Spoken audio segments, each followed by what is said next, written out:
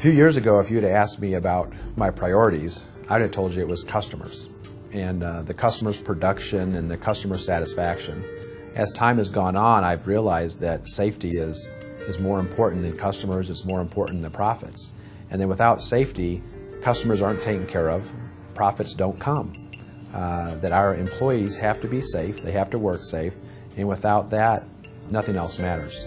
Accidents are a terrible thing, and if you have an accident, it's too late. It's already happened. And so how do you prevent the accident? How do you get proactive? And our whole business is about being proactive. So we came up with the idea, and it's an industry standard practice, is to report near misses. Did something almost happen? And how did we identify that, document it, so we can do something about it? So we've asked our employees to document all the near misses that they come into contact with, or that they're aware of.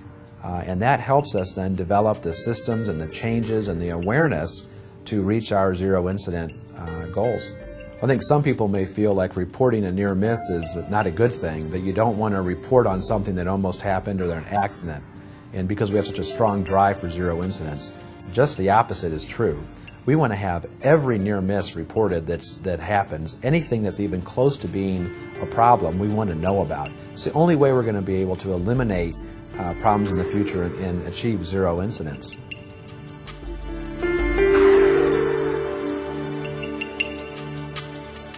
To have a near miss that was more of a almost disaster uh, makes you think a little bit. I was following up on work done by an outside contractor on one of our boilers and heat exchanger. And uh, when I went back there to the chemical area to check, there was nobody around. Uh, the system was fully operational. We had steam flowing everywhere. And I noticed that they had left the valve open. I didn't know why, but it was filling up our sump. So it was necessary to turn it off. And when I did, the boiler system built pressure and blew the gaskets out of a heat exchanger that uh, they were still testing, but they didn't notify anybody. They had left for lunch and the system was fully operational. So when I closed it off, it built pressure and uh, if I hadn't been as quick as I was, I'd probably got a face full of steam. Anybody standing to either side of me would have been burnt uh, severely. It's a lot of steam, uh, 212 degrees minimum. A lot of things go through your mind, but the first thing you think about is I could have been burned severely enough that uh, you don't see your family for a while. You don't come to work for you. Your whole life gets messed up permanently. It upset my little girl worse than it did my wife.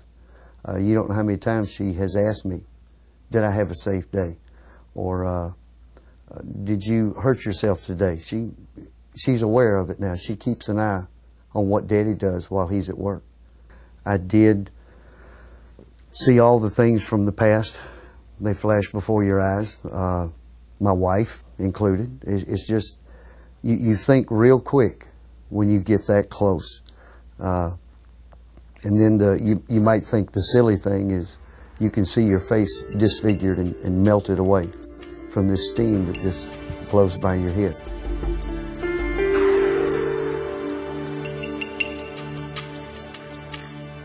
I was running a uh, pretty significant test. Well, I noticed that there was some fuel or some smoke coming off the engine and which is normal sometimes. Uh, this was not a normal smoke, so I put my earplugs in and walked into the cell where the engine was running and noticed that we had a fuel leak.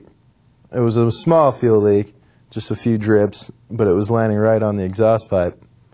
Well, I didn't want that to cause a problem or stop the test, so I figured that I'll just go tighten it up real quick. No worries. Uh, well, I tightened it the wrong way. I loosened it, and a lot of fuel came out and sprayed all over the exhaust pipe and caused a big fire. The uh, fuel that came out was it was a spray. Had I been sprayed with it and hit the exhaust pipe, I could have I could have went up. My whole life could have been completely different. I think it was very important to talk to report that because in my situation, I think 90% of the guys that I work with would have done the same thing I did. And had I not gone in there and done what I did, you know, who knows what would have happened to the next guy doing the same thing. So I think it's very important that we take the time to report these near misses just because uh, you never know what's going to happen the next time or what we can learn from it.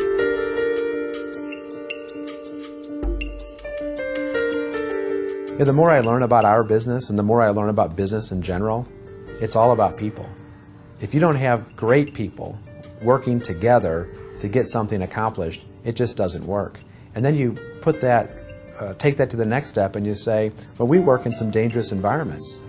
Our great people have to work safely. If they're not able to come to work or, or feel safe in the environment with their coworkers, then we cannot get our work done and we can't be productive. We can't, can't uh, make factories run better. And that's what our company is all about.